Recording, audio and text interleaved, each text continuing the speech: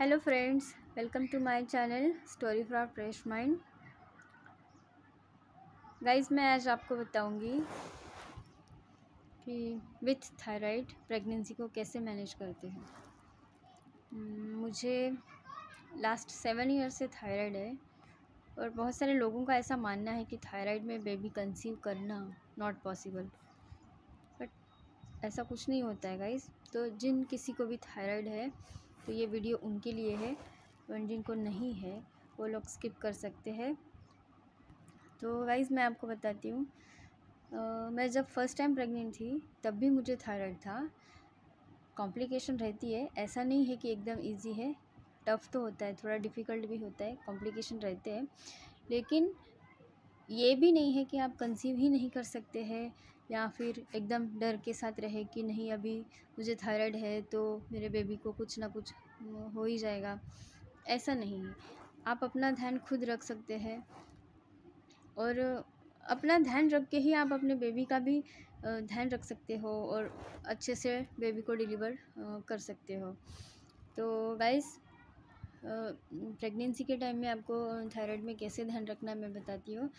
तो मैं क्या करती हूँ कि रेगुलर चेकअप करती हूँ थायराइड का, वो तो करना बहुत ज़्यादा ज़रूरी है क्योंकि नॉर्मल कंडीशन के बदले प्रेगनेंसी प्रेगनेंसी में आपका हार्मोन्स लेवल थोड़ा कम ज़्यादा होते रहता है। तो इसकी वजह से आपको रेगुलर चेकअप करना बहुत ज़रूरी है। जैसे कि हम थ्री थ्री, में, थ्री मंथ्स आफ्टर करते हैं तो प्रेगनेंसी में मुझे लगता है स्टार्टिंग स्टार्टिंग में तो आपको कंटिन्यूसली फ़र्स्ट मंथ से थ्री फोर मंथ तक आपको हर महीने चेकअप करते रहना चाहिए।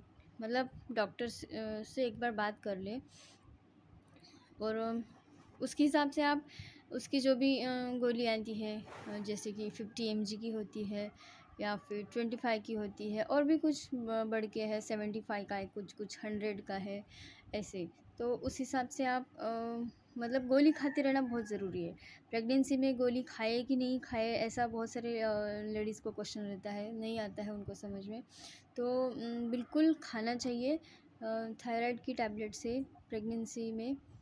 कोई भी प्रॉब्लम नहीं होती है उल्टा बच्चे के लिए और जो मम्मा होती है उसके लिए ये बहुत ज़्यादा अच्छा होता है। हाँ अगर आप टैबलेट को स्किप करते हो तो प्रॉब्लम हो सकती है।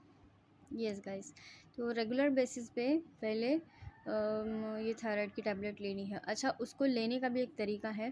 बहुत सारे लोग आफ्टर ब्रेकफास्ट लेते हैं तो ये गलत है।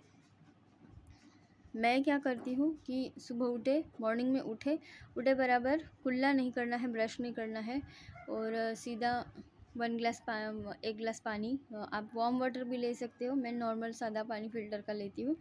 और जो भी आपकी क्वांटिटी है गोली की, वो लेना है। उसके बाद में आधे से एक घंटे तक आपको कुछ भी नहीं पीना है। पानी नहीं जूस नहीं, चाय नहीं, नाश्ता वगैरह कुछ नहीं। एक घंटे के बाद आपको प्रॉपर तरीके से नाश्ता करना है, क्योंकि बहुत ज़्यादा भूख लगती है, इसलिए आपको नाश्ता करना ही पड़ता है।